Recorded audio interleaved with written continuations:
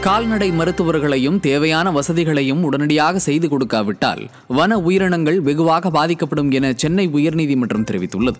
ஆனைமலை புலிகள் காப்பகம் அமராவதி முதலை பண்ணையில் கால்நடை மருத்துவர்களை நியமிக்கவும் வன உயிரினங்களுக்கான வசதிகளை செய்து கொடுக்கவும் ஏற்கனவே பிறப்பித்த உத்தரவில் எடுத்த நடவடிக்கை என்ன என்பது குறித்து நீதிமன்றம் கேள்வி எழுப்பியது.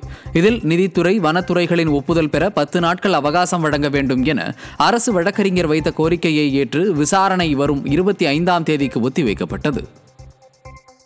தேசத்தின் சொத்துக்களான கனிம வளங்களை சட்டவிரோதமாக சுரண்டுவதை அனுமதிக்க கூடாது என்று தெரிவித்துள்ள சென்னை உயர்நீதிமன்றம் கனிம வளத்துறை தொடர்பான நிலுவை வழக்குகளை தலைமை நீதிபதியின் கவனத்திற்கு கொண்டு செல்ல வேண்டும் என உத்தரவிட்டுள்ளது.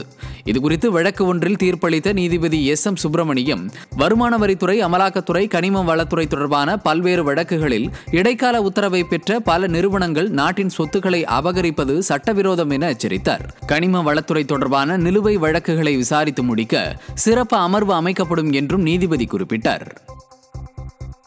சென்னை விமான நிலையத்தில் ஆடைகளுக்குள் மறைத்து வைத்து இலங்கையிலிருந்து விமானம் மூலம் கடத்தி வரப்பட்ட எண்ணூற்று ஐம்பத்தி இரண்டு கிராம் தங்க பசையை சுங்கத்துறை அதிகாரிகள் பறிமுதல் செய்தனர்.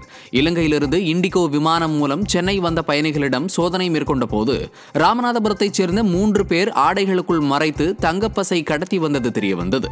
இதனையடுத்து மூன்று பேரையும் கைது செய்து சுங்கத்துறை அதிகாரிகள் விசாரணை நடத்தி வருகின்றனர்.